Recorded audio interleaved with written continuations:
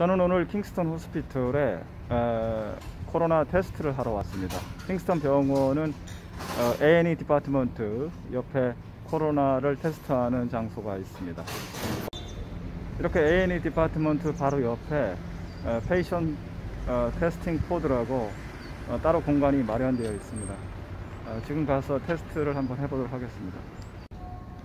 보통은 드라이버 스루로 어, 테스트를 하시고 자가로 테스트하는 킷을 사용하시는 분도 있던데 에, 저는 병원에서 테스트를 하러 왔습니다. 제가 오늘 테스트를 하러 온 이유는 무슨 뭐 증상이 있거나 뭐 코로나 확진자를 접촉을 해서 위험이 있어서 온 것이 아니고 에, 제가 병원에 출입할 일이 있는데 병원에 출입할 때 제가 에, 코로나로부터 어, 완전히 그 자유로운지에 대해서 확인을 하고 출입하기 위해서 병원 측의 요청이 있어서 오늘 오게 됐습니다.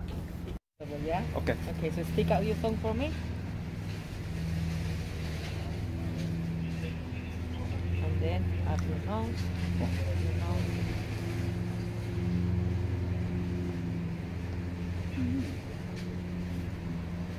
That's it. Not, not too bad. Not too bad. 오케이, thank you very much. Uh, 네, 오늘은 킹스턴 병원에 가서 코로나 검사를 직접 하고 돌아왔습니다. 실질적인 검사 시간은 채 1분도 걸리지 않았고 신분 확인이 더 오래 걸렸습니다.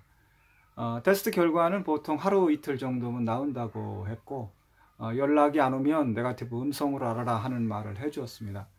그리고 킹스턴에도 이제 코로나를 검사할 수 있는 사이트가 생겼습니다. 그래서 어, 킹스턴 센트럴에 가시면은 서리 카운티 홀이라는 곳에서 이제 코로나 검사를 하실 수가 있고 모든 분들이 다 검사를 하는 것이 아니고 에, 코로나의 증상이 있거나 또 코로나 확진자를 접촉한 그런 그 위험한 어, 분들에 한해서 사전 부킹을 하셔야 이제 NHS에서 어, 무료로 검사를 하실 수가 있겠습니다.